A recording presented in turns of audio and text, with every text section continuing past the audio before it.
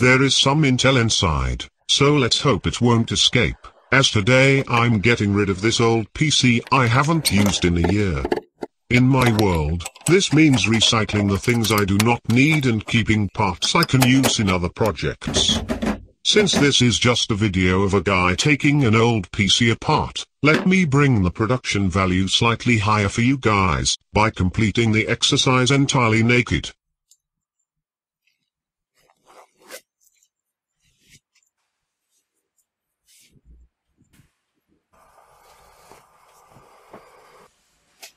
Let's go.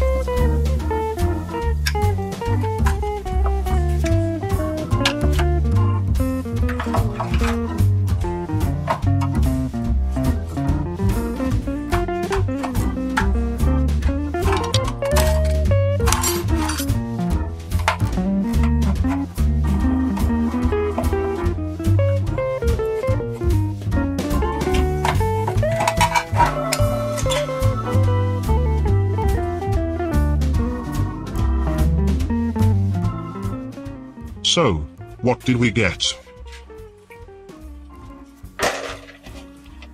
Lots of plastic and metal that we will bring to the recycling station later on today.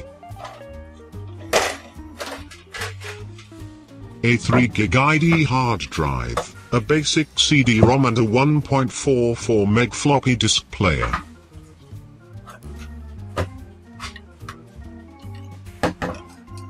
A 16-bit ISA sound card and the 8 RAM motherboard extended with 4 RAM modules to make up for an astonishing total of 24 megabytes of RAM.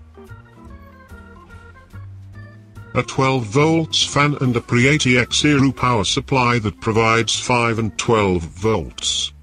That's a keeper.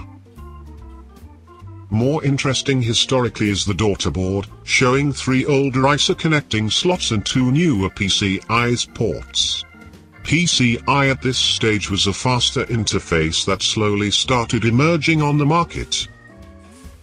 Also interesting is the 3COM Etherlink 3 network card from 1995.